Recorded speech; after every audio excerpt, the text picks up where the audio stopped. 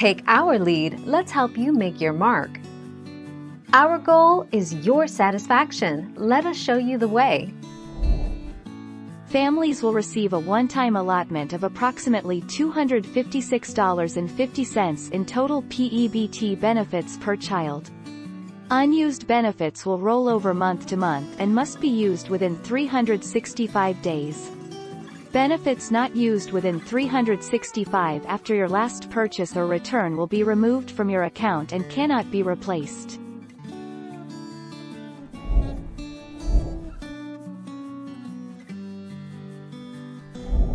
Make your mark, take our lead. You can buy the following items with your EBT card at Walmart.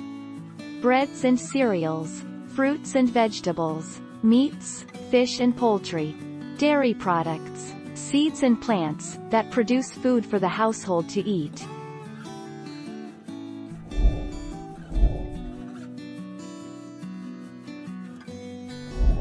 Make your mark, take our lead. PEBT provides benefits, very similar to SNAP benefits, to children that would have received free or reduced price school meals, if not for COVID-related school closures and or COVID-related reductions in school hours or attendance.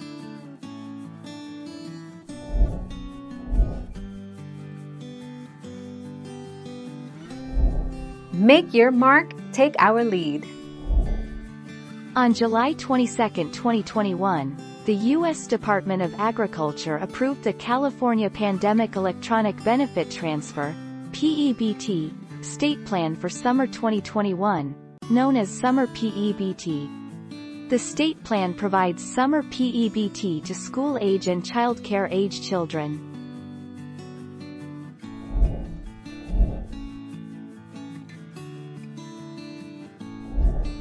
Take our lead. Starting in October, average benefits for food stamps, officially known as the SNAP program, will rise more than 25% above pre-pandemic levels.